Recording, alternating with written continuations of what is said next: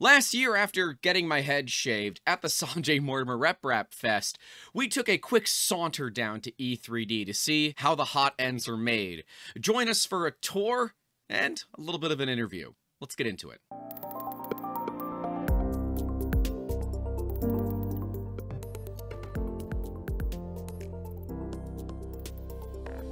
We're here in the R&D and QC department where ideas come in, products come out, products go in, and products go out. Sam, talk to us about what really actually goes on here. Yeah, so um, as you say, this is, well, it's actually only one part of our R&D um, area. We have another one through there, which we'll get onto in a bit. Um, but in here, we have a lot of our um, test equipment. Um, so we have a tensile tester for pushing, pulling things apart. Um, we've got a fleet of printers down the end that we do things like wear tests um, for like lots of repeated um, printing the same object. Yeah. Um, but then it's also where we have some cleaning stations and we've got like the Formlabs and other generic test equipment or like printers that we use for, for making jigs and fixtures. well, always with resin, you got to make sure you keep it clean because as we know, resin is toxic around here and Yeah. Formlabs does make some really crazy resins. uh, yeah, they do. And they're very crazy expensive too. Uh, but you guys have everything from some smaller printers. I even see a belt printer, which is hilarious that I wore my belt printer cat shirt Yeah, yeah. with cat colored filament, of course. Of course. Um, merch coming soon. and then over in QC, it's more about making sure everything is the way it needs to be, right? Yes. So, what is one of the biggest challenges with QC and making sure that these things are right? Um, our parts are tiny and the holes are very small, and so you need, you need to have very precise equipment to be able to measure all that stuff Yeah. accurately.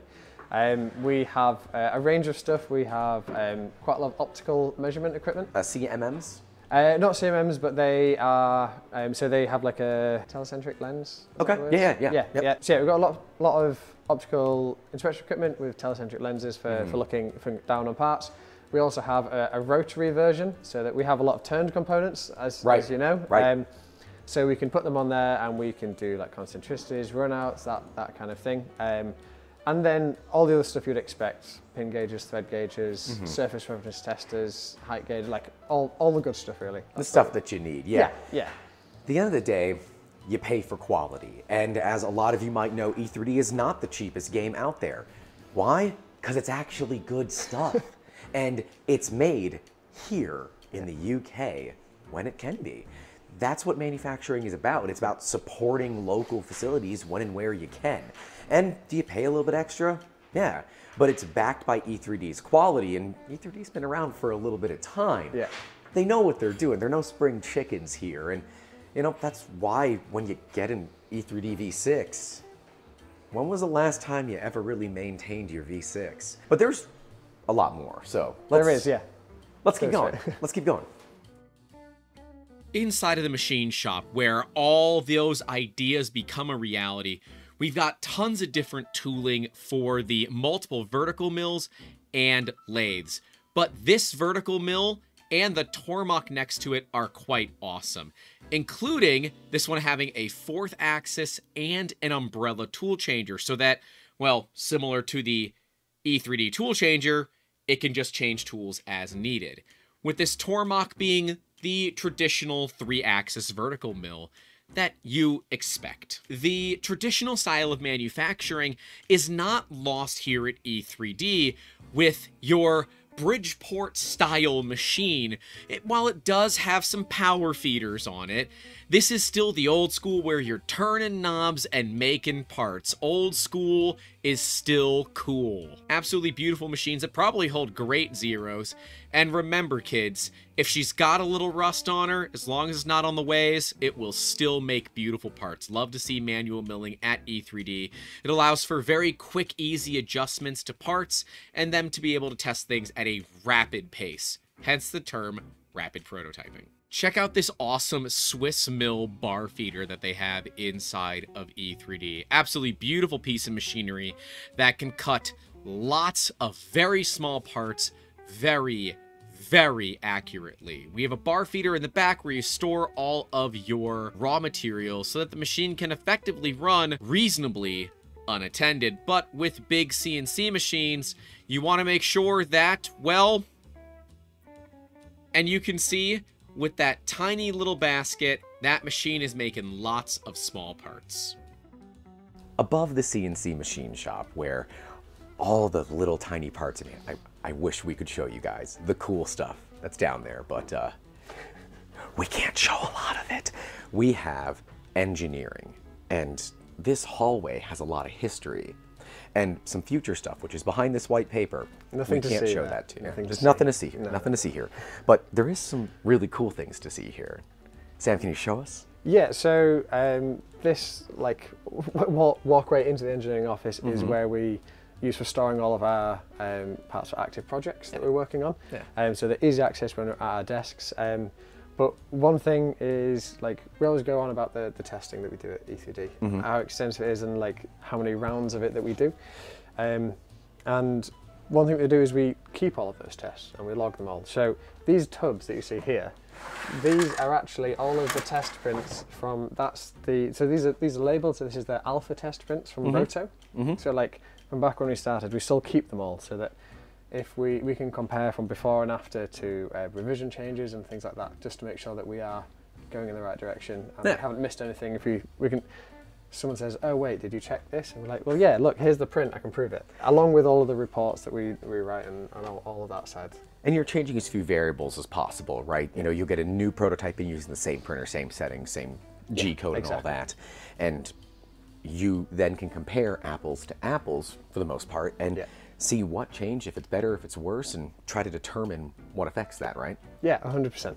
So how many test prints do you think are sitting here on this wall?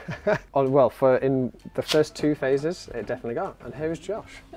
Hi, Josh. No, you're good. It got to like 4,000 hours of printing or something. And then we moved to, um, then that was all like pre-production stuff. And so like that, you can, that kind of puts a bit of scale on, Yeah. onto it. That's a, that's a lot of just test prints in general. It is. Yeah. I will say there are some really cool sample models, but there's one that is particularly my favorite. Can I grab it? Yeah, yeah. Yeah. You're going for, yeah, of course you are. Of course I am. Because this model, how many nozzles are in here? Uh, enough, I think is the correct answer. That's a lot of Revos. yeah. that is so cool. Yeah. You got to do something cool like this when you have the opportunity. This is a really cool space and it shows that you guys are really maximizing the space that you have. 100%. And I don't see a lot of companies that keep all the test prints too. So that's actually really cool that you keep all of them. So you can Yeah. really look at the full on history Exactly. of what it took. There's a lot of testing being done here in engineering. So we're gonna go take a look at that. Come along. Yeah.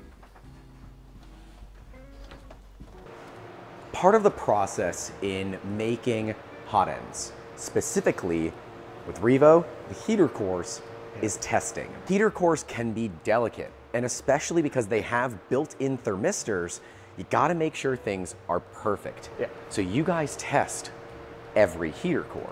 Yeah, definitely. And this isn't the this is just the final stage of testing that we Mm-hmm. do. As you, um, we've got the the goods in QC, but then there are various quality checks along the production line. Right. So when when these come into E3D, um, the bare wire, the crimps are on the the crimping machines and Yep. the connectors. We attach all of them together. We even put in the potting compound and Wow. do all of that side of stuff. So that's what the line down here is for. So from from that end to here, you end up building building one of these full heater core. Very full cool. heater core. And then what we have here is a bank of testing rigs. Okay. Um, they slide back onto here, um, and then in here you place on your heater core onto the spike, Mm-hmm. Hook up the connectors, um, and then it runs it through some heat up cycles. Okay. And does various checks for heat up rate, things like resistances and stuff like that, to make sure that this is to spec. Yeah. Um, to make sure that, through, although we do lots of checks down the line, we Mm-hmm. want to make sure that everything is right once it's finally put together. Right. And with all of this, um, you'll see a, a scanner here and, the uh, QR and a screen. everything. Yeah, so thi- this has a QR code. So when you load this up, you scan them in the order that you load them, Mm-hmm. um, and then all of that data is then logged into our database. So pretty much every piece of equipment that we could log to a database logs to a database. There's only a few manual steps where that isn't feasible, but but all of the stuff that is uh, electrically controlled are um, yeah we, we log all that so that we can make sure that we are um, holding ourselves to the, the high quality standards that we, we want to want to be seen as. I remember talking to him about this, saying, why did you choose to use the same damn connector? Because people are going to do it wrong. He said, yeah, but it doesn't matter. Like, what do you mean? If you send all that wattage into a thermistor, you're going to kill it. He said, no, you won't. Its resistance is so high, it's not going to, nothing's going to happen to it. So we use the same connector, so it's one less SKU. It's easier to get done because it's one less machine. And at the end of the day, it's easier for the person because if they do need to cut wires, they need to do something, it's one connector. Yeah. We'll card to that video so that you guys can can see the look on my face because it it kind of hit me. I'm like, he's right. It wouldn't matter. That's kind of cool. So it was like it's also a if it doesn't work, flip the wires, but even if you do it wrong, you're not you're not going to kill it. Yeah, this was like the, the thing that we stuck on a lot was just about the design of this because I mean, a lot went, a lot I can into that. imagine, I can imagine. Yeah, yeah, the amount of, uh, of hours into creating that product was, was a lot. do you have a favorite story with Sanjay about this and So it's not necessarily specifically about that, but Mm-hmm. something that we would love is unplanned whiteboard sessions. and so yeah, I mean, in the in the office upstairs, we've got banks of whiteboards and then a big screen, and we'd all just like huddle around. No idea is a, a stupid idea. No idea is a bad idea. Throw it all down. Yep. And then out of it, I mean, that's that's where our version of the, the high flow came from. It was a, like an after hours. It started at like half four. Quick. Oh, let's just have a quick chat about this. Next thing you know, it's half past six at night, and everyone's still going at it. Um, been there before? Yeah. Been there before. they, yeah, they they were my favorites. It's like you wish you could go back and just record them. I know. Just for all the Yeah, fun that's that's missed. it. Yeah. Ah, this is so cool, Sam. It, it is it is nice to see the processes from you know, kind of start to finish of what it takes to make some of the best damn hot ends in the world right here in the United Kingdom. I'm I'm I'm so excited. But this is not the final step. Yeah, at this point the parts are done, but Yeah. we then have to put them into inventory. Yep. And then when you guys go to E3D online, which of course we'll link to in the description down below, they make orders and then you guys have to take care of that logistics part, which is Yep. a little harder than you might think. So let's go take a look at what that takes to uh, get this from my hands, or your hands, Yeah. to your all's door, just through here. I feel like Andrew's gonna get so tired of the walking shots. Inside of shipping, we can see thousands of parts on shelves. And this looks like a regular shipping department, and mostly because it is. But this is where tiny, tiny little parts get stored and tracked in a marvelous way. So when you order a 0.4 nozzle, you get a 0.4 nozzle versus a 0.6 or a 0.8. And if you're ordering a Revo, well, at least those have those color coded rings that make life just a little easier. It was amazing to go to E3D and see kind of everything that's there from those beautiful printers like the Mendel 90 serial number 5. Super, super cool. But I had the opportunity to talk to others at E E3D. I think I have fallen into the role of the parent of this, of, uh, uh, you know, around here, which, you know what, I'm cool with. He did say one thing to me. He said, "It's really nice to be important, Matt, but it's very important to be nice." Sanjay was, uh, we had, we've had some good times, so many wonderful memories. The acid one though, that's probably like, that's probably up there.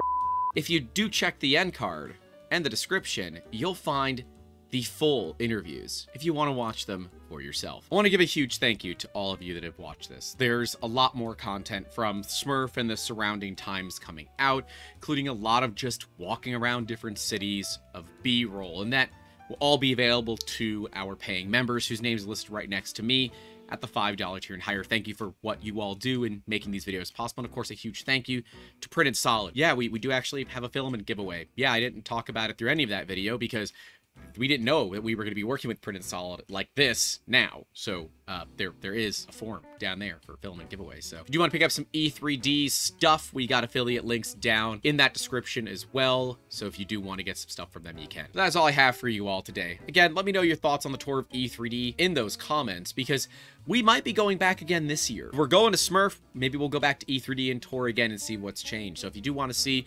more of what's going on at E3D, let us know. And if you want us to interview anybody from E3 or have them on as podcast guests, love to know that as well. That's all we have for you all today. Stay safe out there. Don't forget to call your loved ones.